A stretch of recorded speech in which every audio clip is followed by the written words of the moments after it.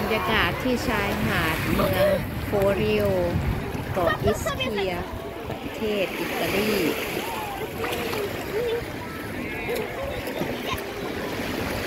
วันนี้วันที่ 27 กรกฎาคม 2567 มาเที่ยวเกาะ